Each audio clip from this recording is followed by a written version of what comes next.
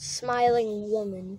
So, me and a group of kids, you can watch it on my other channel, but I'm pretty sure it has cuss words in it, so I'll put it in the description or whatever.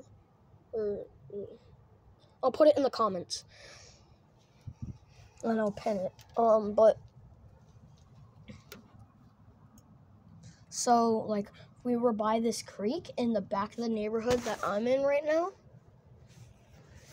And there was like this I was I was looking at the end of the creek and I saw like Dora the Explorer wearing well something that looked like Dora the Explorer had the same she had the same haircut as Dora the Explorer and she was about the size of me but like a little fatter but, but like fat and stuff and she was wearing purple shirt green shorts wait no a green shirt and purple shorts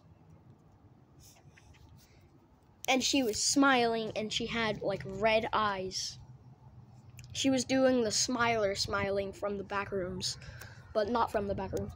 Um, and I blinked and she disappeared. I, I screamed and told everybody, and then we all started running. And then Braden, my friend, told me what I saw, and I was like, we should go hunting. And then we went behind this dude's house. We saw it again, and we saw like a bunch of noodles on the floor for no reason.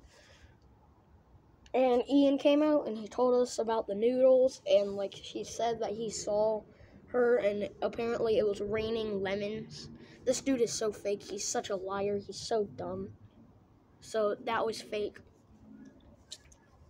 He just wanted to act cool. and like we saw her again and subscribe for more.